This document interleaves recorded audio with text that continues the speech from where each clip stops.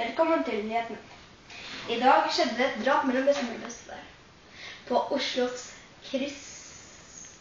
Da viser dere på skjermen der hva som Hei, Rosenborg. Nei, LSK! Rosenborg! Nei! Rosenborg! Nei! Hæ? Skjønner du at det er LSK? Ok, det er LSK. Hæ? Det er LSK. Jeg hater Rosenborg. Skjønner du? Nei, se, jeg kan tråkke.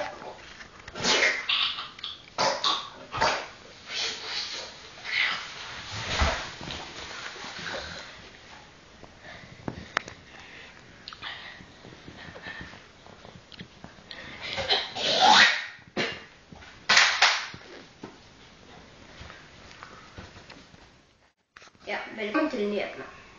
Du så det forferdelige drapet mellom Rosenborg og LSK. Det var forferdelig. Ja, da går vi til ølfabrikken. Det har kommet en ny øl for din bestemor eller beste. Den heter Ramløsa.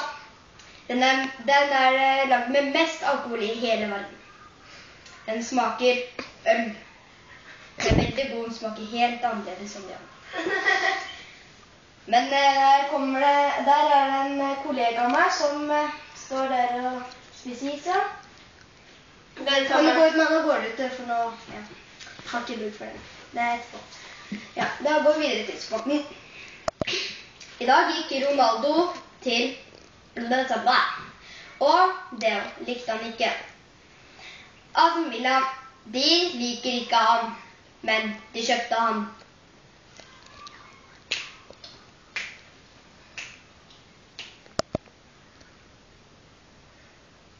Hei! Velkommen til nyheter. Jeg bare tulla. Dere trodde på meg, men det var Real Madrid. For Aston Villa de er altfor dårlige. Real Madrid de hater, eller mener elsker, Ronaldo. Ja, går videre til været.